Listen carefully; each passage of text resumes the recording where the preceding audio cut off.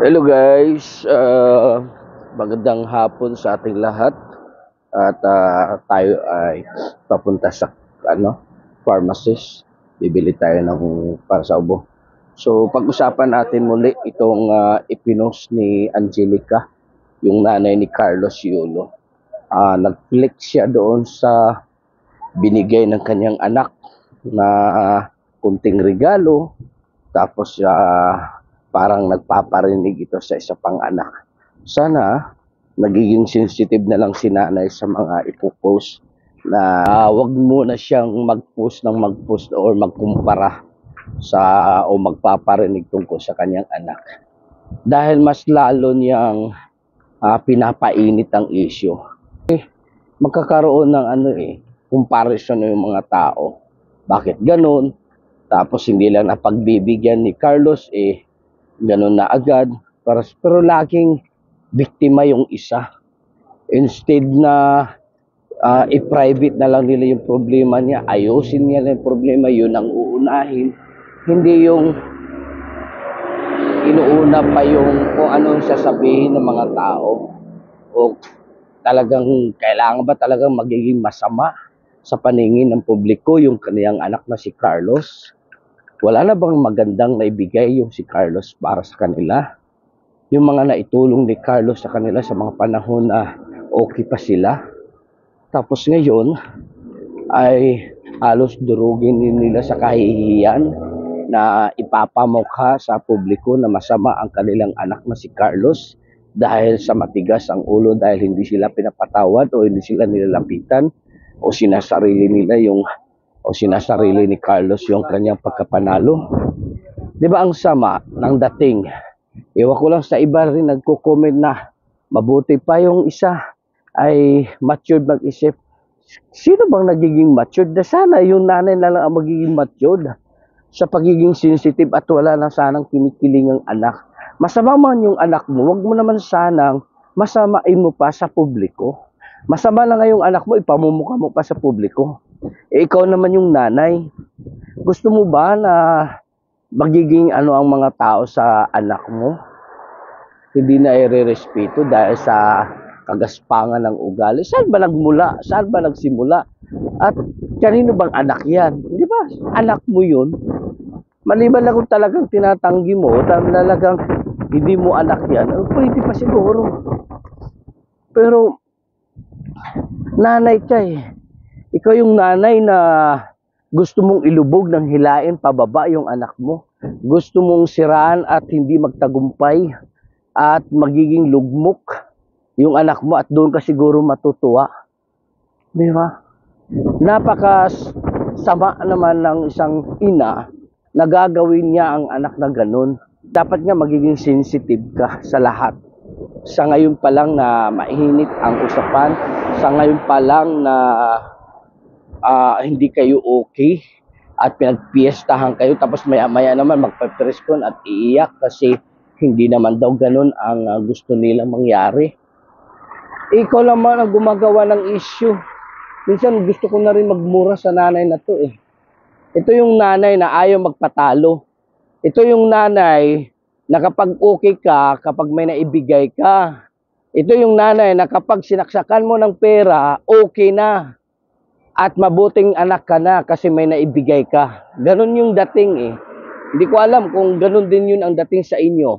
Na kapag ah, gustong gusto ka ng nanay, kapag may naibigay ka, pero pag wala kang naibigay, makakarinig ka na hindi magandang salita, sasabihin na to, batugan na to, wala nang silbi, pabigat pa sa buhay.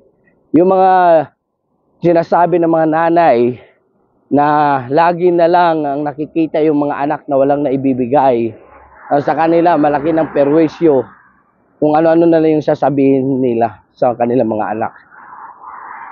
Pero hindi naman nila hawak ang future ng bata eh. Darating ang panahon na magiging matured yung anak mo at makapagbigay din o gaganda ang buhay, saka nyo pa aangkinin na anak nyo yan. Saka nyo pang i-grip ang bata, saka nyo pa sabihin na Walang utang na loob kasi hindi na naalala ang nanay. Pero subukan yung walang ibibigay yan. Ikaw na yung pinakamasamang anak. Ikaw na yung hindi bida sa pamilya kapag wala kang naibigay. Kaya yung mga ganitong klaseng nanay, hindi patas ang treatment sa mga anak.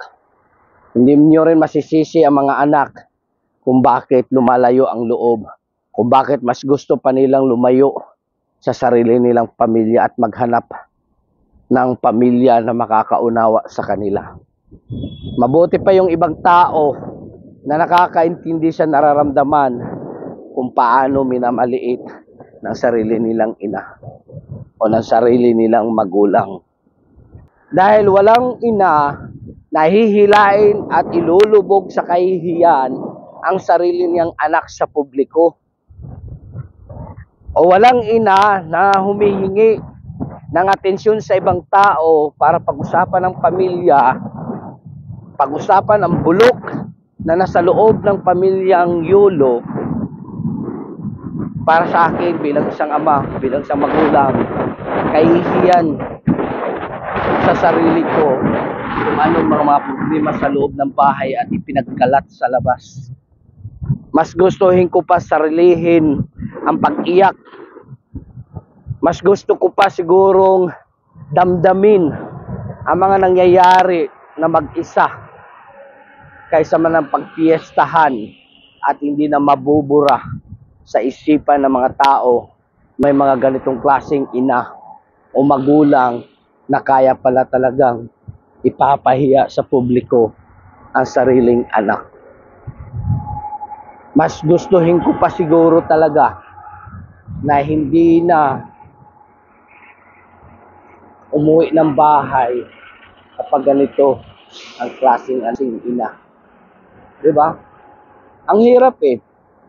Dahil ang mangyari diyan, nagkakaroon na naman ng comparison yung mga tao. Nagkakaroon naman ng pag-iisip yung mga tao yung nasa publiko na ginigrip ng magulang o pinapakonsensya ng magulang ang isa pang anak. Pero ang dating napakamali. Kasi iisipin din ng mga ibang mga tao na mukhang materials na bagay lang talaga o mukhang pera lang talaga ang nanay ni Yolo. Dahil talaga itong nanay na to abnormal mag-isip.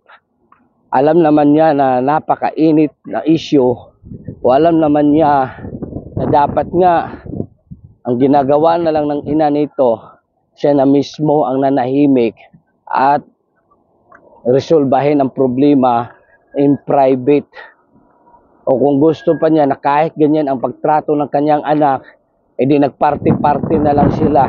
Kahit papaano, siguro, mas marami pang maaawa sa ganun na nagpaparty sila na kahit hindi sila welcome ng kanilang anak. Mas okay pa yun dahil ipinapakita pa rin kung gaano kamahal niya ang kanyang anak sa kabila ng kanilang mga problema, sa kabila ng pag-iwas ng kanilang mga anak o ng kanyang anak ay ito pa rin yung suportado sila nagparty-party. Pero dahil sa grabe naman talaga ang inang makapagsalita, hindi talaga maganda at hindi ganun kadali para tanggapin na ganun lang ang tingin ng aking ina. Pero tao lang din naman tayo, marunong naman tayo magpapatawad. Sa tingin mo naman siguro, yung anak mong si Yolo hindi naman ganun kasama o kademonyo dahil ikaw naman yung nagpapalaki. Siguro naman may panahon para magkaayos kayo. Pero wag mo naman sana mas lalo mo pang ipinapalayo yung anak mo. Mas lalo pang pinandigan ng anak mo na tama yung kanyang desisyon. Yung ang paglayo at pag-iwas sa inyo. Siguro, tama yung desisyon ng anak nyo na hindi na lang talaga makipagbati sa iyo dahil yan pala ang pakiramdam kung paano kami na maliit, kung paano ka ipinapahiya at kaya kang ipapahiya sa buong publiko. Kaya good luck sa iyo